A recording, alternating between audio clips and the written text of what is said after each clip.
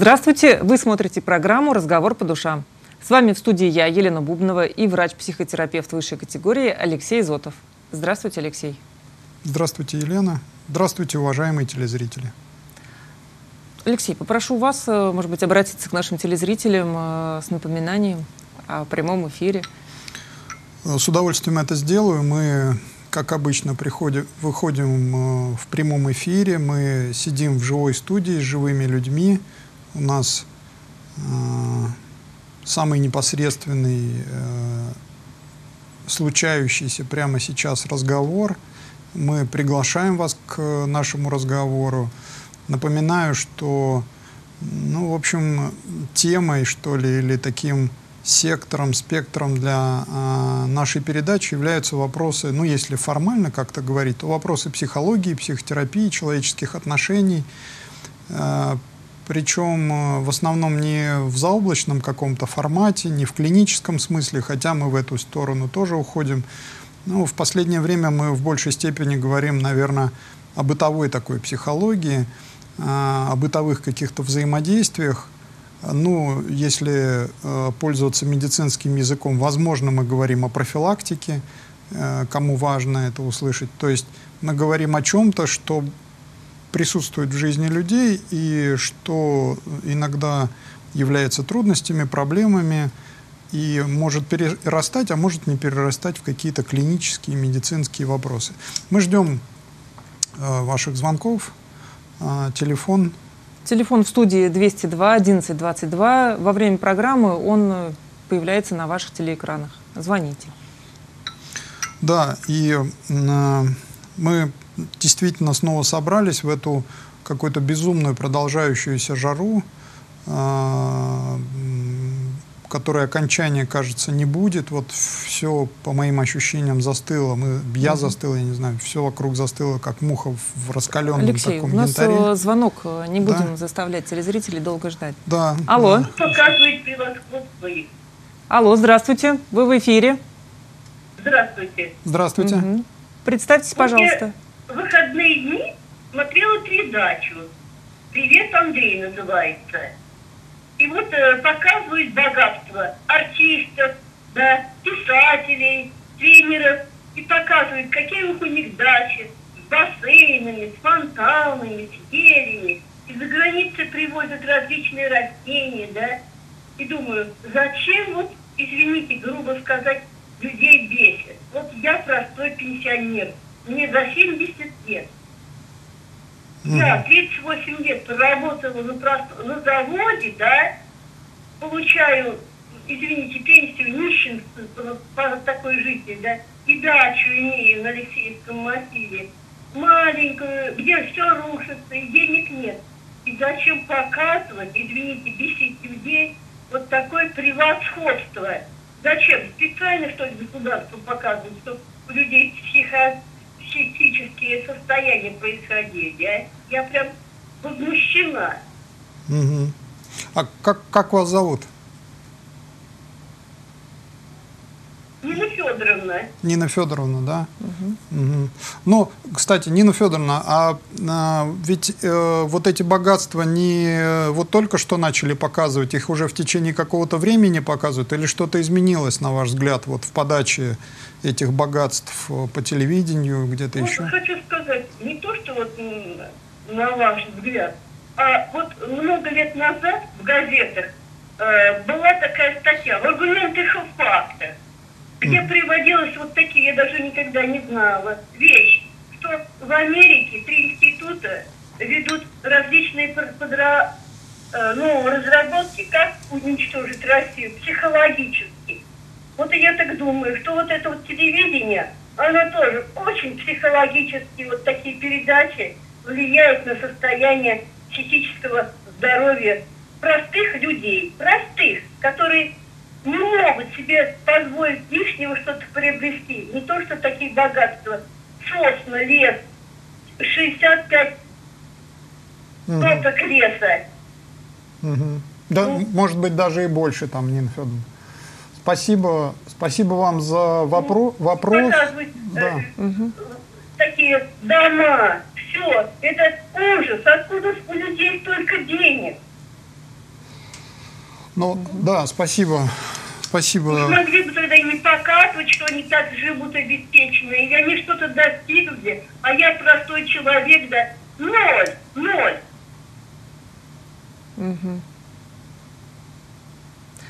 Нина Федоровна, э, ваш вопрос да. к нам заключается в том, э, чтобы мы попробовали ответить, почему это показывают на телевидении, или вот, может быть, вы еще что-то хотите спросить у нас?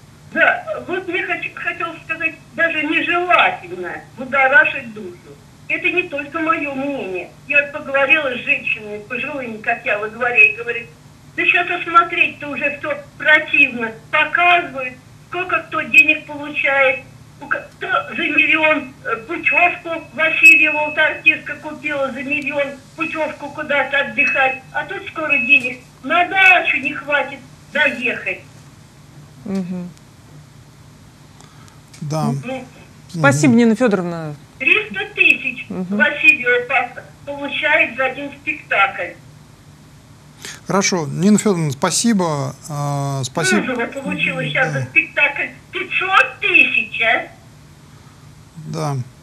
Э, спасибо за, за звонок. Э, этот звонок для меня одновременно... Но он очень эмоциональный. Ну, безусловно, я думаю, что когда, Лен, вы спрашивали, э, что вы хотите спросить, ну, наверное, хотела скорее Нина Федоровна сказать, нежели спросить.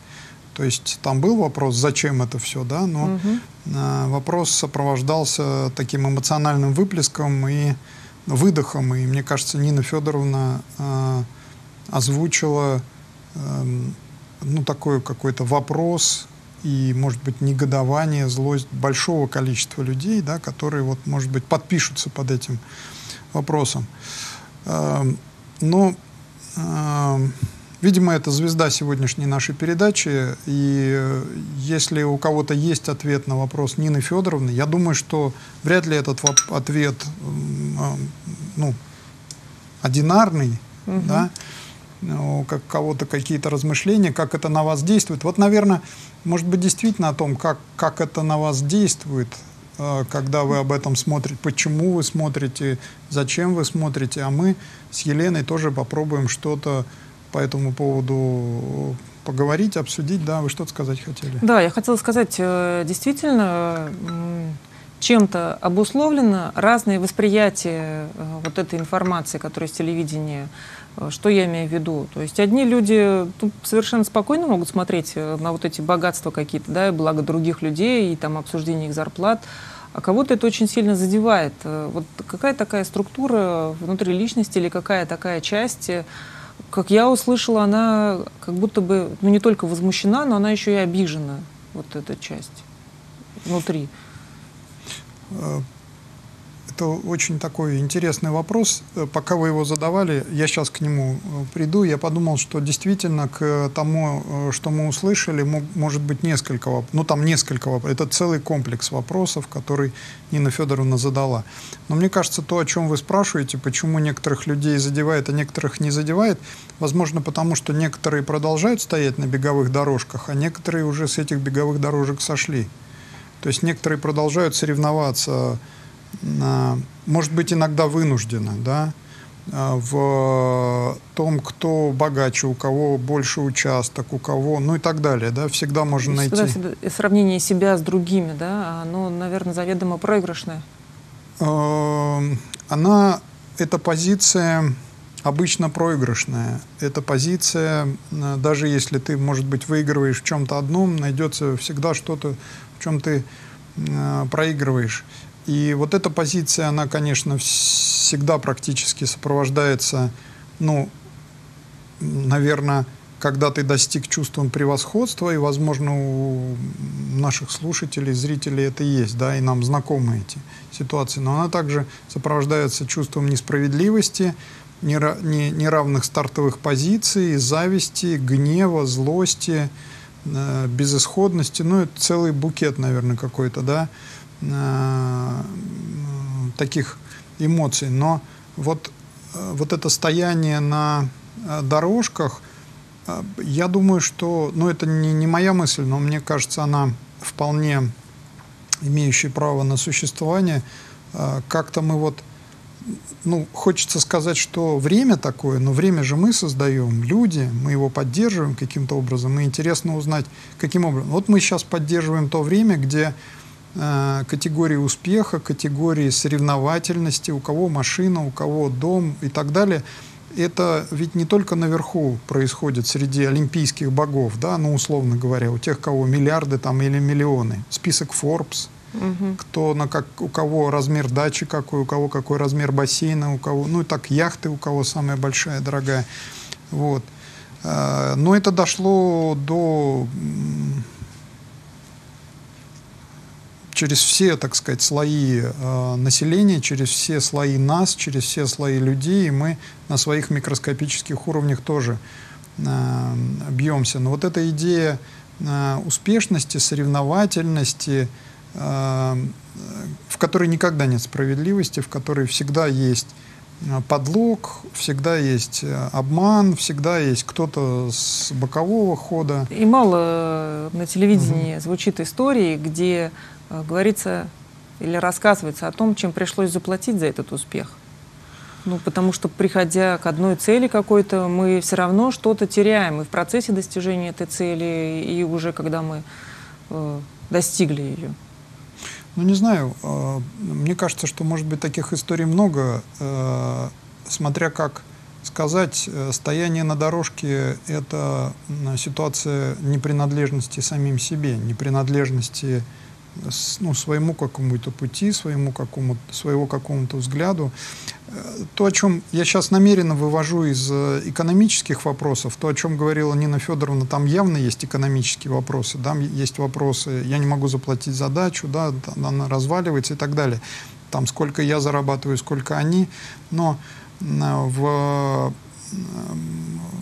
в этой части, в экономическом, я думаю, что мы мало что скажем, кроме кроме того, о чем сказала э, Нина Федоровна, э, с деньгами туго, с деньгами беда. Э, наверное, нужно звать экономистов, их спрашивать, нужно кого-то из правительства, их, собственно, периодически спрашивают, они периодически что-то нам говорят. Это те же самые наши люди, которые живут среди нас, да? Я имею в виду люди экономисты. мы можем поговорить о психологической составляющей. Мы можем поговорить о, о психологической. Вот одна из психологических составляющих это вот такое Э, постоянное сравнение, я уже об этом сказал, постоянное э, э, заглядывание. Ведь я не стал спрашивать, но угу. об этом тоже, в общем, разговор. Зачем смотреть, зачем, ну это так, если бесит, это раздражает, да, то что-то что-то влечет в том, чтобы на это смотреть. смотреть угу. Может Алексей, быть, у нас звонок. Да. Перебью вас, извините. Да. Здравствуйте. Добрый день. Представьте, да, пожалуйста, как вас зовут? Меня зовут Алла. Угу. А, здравствуйте, Алла. Здравствуйте. Ну, мне бы хотелось, вот вопрос, ну, может быть, не в том ключе, как спрашивала Нина Федоровна. вас э, Наталья Федоровна. Нина Федоровна. А про... Нина Федоровна, угу. да, А про то, что, ну, вообще, ну, уместно ли делиться своими успехами или достижениями? Э, вроде, с одной стороны, хочется, а с другой стороны, это может быть бестактным по отношению к другим людям, или надо уметь спрашивать про их успехи, достижения. Вот, э, ну, и, наверное, второй как бы, аспект этого вопроса, действительно кажется, что не хватает информации, ну, в телевидении, например, ну, об успехах вот не только э, артистов, но и там, не знаю, врачей, там, не знаю, строителей, там, кого угодно. Угу. Угу. Спасибо. То есть ваш вопрос, э, Алла, заключается в чем? Насколько полезно э, делиться или узнавать, ну, делиться своими достижениями или узнавать о достижениях других? То есть будет ли это бесплатным проявлением зависти или это наоборот, э, ну, способствует, например, ну, не знаю, самооценке человека. Алла, а ваш, оп... ваш опыт что подсказывает? У вас же есть какой-то по этому поводу опыт? Уда удавалось делиться и что-то слышали вы в ответ? Ну, э, я могу сказать о том, что часто бывает трудно делиться, как будто бы неуместно. Я думаю, что э, вот мое поколение, это поколение там, второго, третьего возраста, э, как бы нас учили не, не хвастать, не выпячивать, и ну, как будто бы э, смотришь на более молодых, которые ну, лег, легче это делают. Вот. Угу. А, поэтому непонятно, либо нужно вот осуждать молодых, либо подтягиваться.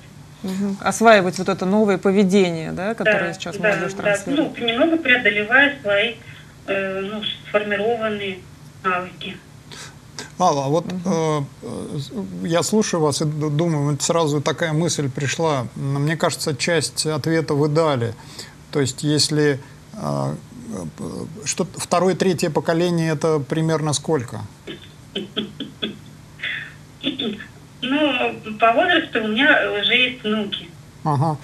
Вот. Э, я к тому, что если вот, допустим, одно возрастное поколение, э, ну, его научили, что это делать не надо, ну, непри... неприлично и так далее, то новое поколение, ну, допустим, ваш ребенок или там внуки, они сталкиваются с этим как с чем-то новым, у них нет опыта, ну, им э, ничего не передали. Я, я к тому, что сейчас, наверное, то поколение, которое мы видим, ну, их несколько, да, уже, если там от, от среднего посчитать, ну, что новое украшение, новый бантик, и это, этим можно похвалиться.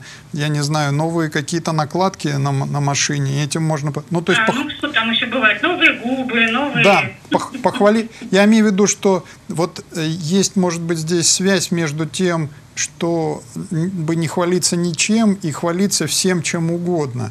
Во-первых, это все э, погружено в понятие похвалы да, и хвалиться чем угодно, это как будто а, ну, просто исследовать эту территорию. То есть вот у меня есть все, вот посмотрите, у меня то, все, пятое, десятое. Ну, потому что никакой э, инструкции, грубо говоря, никакой традиции о том, как хвалиться или как предъявлять свои успехи, э, ну, может быть, не было передано. Вот такая какая-то идея, да, не было передано, потому что у людей более старшего возраста, ну просто нет этих карт, нет этих инструкций, потому что им сказали, это делать не нужно. Да. И вот я еще думаю, что э, ну, те, кто как бы вот этого поколения, условно, родителей сегодняшней молодежи, у них э, э, вот есть целый ну, как бы контингент, которые ну, привыкли говорить об успехах. Это вот категория менеджеров, которые менеджеры по продажам, потому что их, в принципе, учат говорить о ну, преимуществах, о успехах, о том, о всем. То есть, и поэтому получается, что у нас э, успехи в основном, и вы тоже их называете, как э, ну, достижение, как покупки чего-то, а не только как, а не столько э, как достижение саморазвития, достижения, связанные там ну, с каким-то преодолением, э, ну вот достижениями uh-huh. в таком плане. Uh-huh. Uh-huh. Ну да, достижения, связанные с личностным ростом, наверное, да, где я да. что-то узнаю и что-то в моей личности развивается. Ну, да, кроме вот финансового успеха, потому что как будто бы у нас финансовый успех стал ну, главным и, может быть, единственным мерителем успеха и эффективности жизни. Но э, эффективности и, может быть, присутствие в собственной жизни, мы сейчас, может быть, так огульно, ну, про какую-то э, одну из центральных тенденций, да, э, ты есть, если есть у тебя счет в банке, там, я не знаю, да, или есть ну, у тебя, да, да. если ну, есть у тебя, да, машина дорогая, да, дорогая машина, дор... вот, э, мне симпатично об этом э, размышлять вот как раз с позиции того, а какие у нас сейчас друг для друга предложены э, способы существования, кроме этого, да, да, а, да. как, как, как можно быть еще, Э, можно, ну, наверное, как-то и люди как-то еще существуют в смысле бытия, да, но никто о них не знает. Вот ты есть еще, если тебя знают. Вот здесь ну, такие да. категории существования, да, ты не только богатый, но ты еще и ну, знаменит в какой-то степени, да, если ты богатый знаменит, ты есть.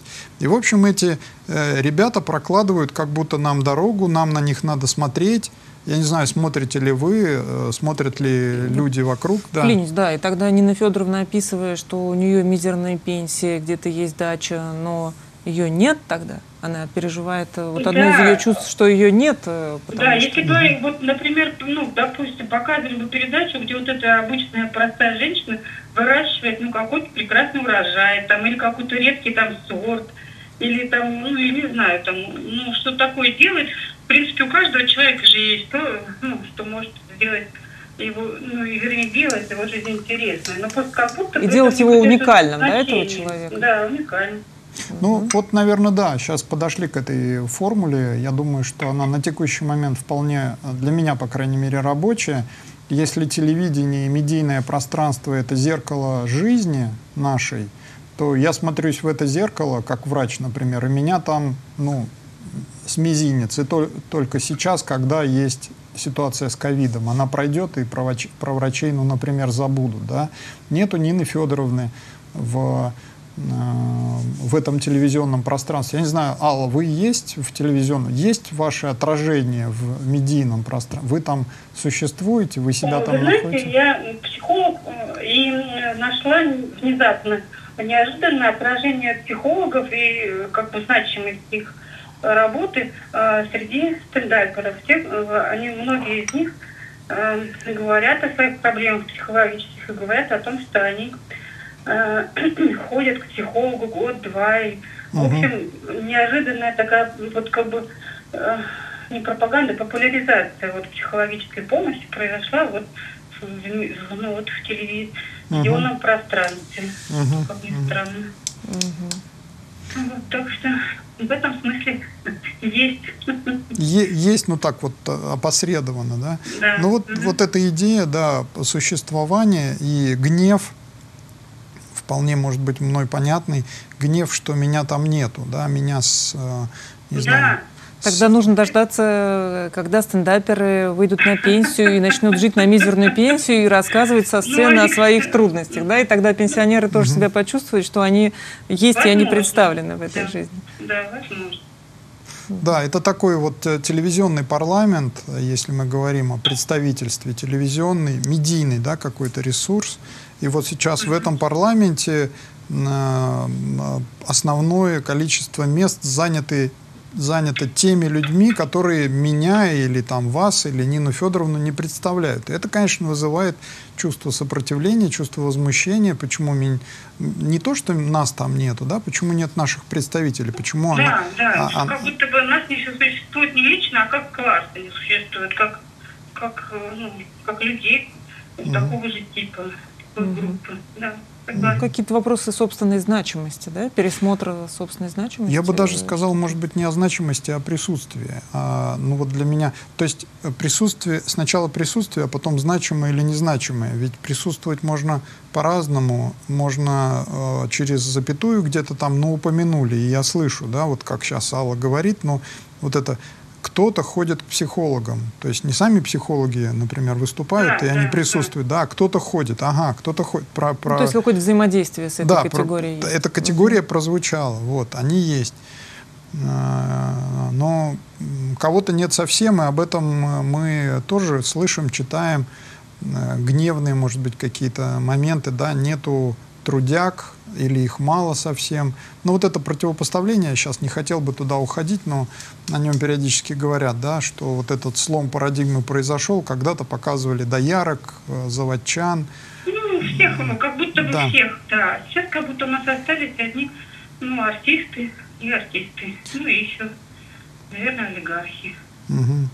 Ну, вот такое мы, да, пока зеркало себе выстроили, немножко, наверное, или немножко гневаемся на него. Но, слава богу, э, люди пока есть разные, интересные. И спасибо, что вы звоните. Я так да, вот спасибо большое, это... за звонок. Да. Спасибо, на мой да. взгляд, очень интересная такая у нас здесь беседа сложилась. Спасибо. Да, и вот, э, конечно, вот этот э, разговор Э, я помимо этого все время думаю, как, как можно в этом поучаствовать, как можно мне поучаствовать, вам, может быть, поучаствовать, если это интересно, да, как можно поучаствовать, во-первых, в том, чтобы быть, угу. ну, хотя бы у себя, да, не обязательно в том пространстве. А во-вторых, вот как, глядя на эту тенденцию успеха и соревновательности, ведь даже дело может быть не в том, что соревновательность это плохо, это безумно хорошо, это дарит такие эмоции, да, а, но а, у каждого свои какие-то планки, может быть, у каждого свои а, расчеты, если уж люди встают на дорожку, ну, такой спорт внутри жизни. Это же тоже интересно. Люди тянутся, прокачивают свои способности. Другой вопрос, что в это можно заиграться и узнать, что ты бежал в течение какого-то времени, не знаю, на рабочем месте, еще где-то. Да, ты, может быть, достиг каких-то там показателей финансовых или еще чего-то, но жизнь твоя пустая, жизнь... Или кто-то бежал э, рядом с тобой и бежал быстрее, да, или он побежал mm-hmm. в другую сторону, у него есть семья, дети, внуки. А ну, в общем, здесь, да, здесь масса вопросов, но то, что на, вот это, да, фраза «нам предлагают а, бежать», я все время думаю, но кто нам предлагает? Ведь это мы сами себе предлагаем. Алексей, у нас э, немного времени до конца программы, э, и при этом у нас есть звонок. Mm, замечательно. Здравствуйте. Здравствуйте. Угу. Здравствуйте. Представьтесь, пожалуйста, как к вам можно обращаться? Меня зовут Марина. Угу. И мне хочется продолжить вот ту тему, которую сейчас э, Алла произнесла. Насколько я понимаю, э, мы с ней примерно одного возраста. И вот слушая то, о чем говорила Нина Викторовна, какую тему она подняла, мне представилась картина, как будто бы э, есть мир, в котором представлены только дети. И вот одни дети хвастаются тем, что у них есть, а другие дети хвастаются, жалеют о том, что у них нет. Угу. И вот в связи с этим у меня возникает такая как картина того, что сейчас в современном мире не хватает взрослых людей угу. которые могли бы дать образцы, примеры э, другого поведения. И э, обиженным детям, и хвастающимся детям. А, а так, как можно э, найти, вот как, о чем Алла, собственно, говорила, вот это вот ресурс внутренний, когда каждый э. Угу. Да, ну хочется откликнуться, Марин. Я надеюсь, взрослые есть, может быть, их э, не так много, или они где-то в других местах э, пасутся и находятся, да. Но вот это вот ваше замечание, перевод в категорию взросления и невзросления, э, он такой интересный. Э, Э, категорию вечной молодости, да, такой. Э, у детства же эта прелесть есть, прелесть вечной молодости, прелесть вечного цветения. Но есть и ну, обратная ну, сторона, вот, да. В данном случае вот этот контекст я бы даже не назвала молодостью, а я бы назвала именно детством. Детство. То есть для меня это как яркая детская позиция. Тот, кто хвастается, и тот, кто э, завидует. Этому ну, в силу там определенных обстоятельств Вот интересно, я понимаю, что у нас совсем мало времени, Марин, ну, да, предполагаю. Но вот я сейчас подумал, вдруг меня осенило, может быть, в следующий раз. Дети, у которых все есть и которые хвастаются, у них чего-то все-таки нету, иначе бы они не хвастались и не выходили, и не показывали. Видимо, у них чего-то очень категорически важного нету, им нужны мы, те, кто смотрит и участвует в их хвостовстве. Вот что это такое? Им я нужны, бы... скорее всего, те, кто им завидует, да? Ну да, да, я про это да. говорю, да. Вот что именно, что именно, чего они именно лишены, и что в данном случае не, не покупается за деньги. Я бы про это подумал, может быть, в следующий раз как-то мы об этом поговорили бы. Угу. Спасибо, Спасибо вам, большое, да. Марин, за звонок. И такую интересную идею Марина предложила, угу. на мой взгляд. Да. У нас э, время подходит к концу, пора подводить итоги нашей сегодняшней программы. Так она динамично, на мой взгляд, прошла. Да, и э, вот, ну, спасибо Нине Федоровне, если вы нас продолжаете смотреть, я надеюсь, э, мне очень хотелось присоединиться к вашим чувствам, к вашему гневу, э, к этому, к этой живой какой-то эмоции, Э, которая, может быть, кажется, ну, нет конца, но она э, сохраняет, что ли, человека в вас. Я чувствую, что угу. она во мне сохраняет человека. Спасибо, Алексей, да. за беседу. Спасибо нашим телезрителям, которые приняли участие в нашей программе, звонили, смотрели. Смотрите на следующий вторник. Всего доброго. До встречи.